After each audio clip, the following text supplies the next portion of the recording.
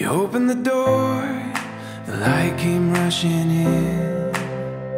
I suddenly saw a brand new beginning, a beautiful hope, a reason to believe it's what you give.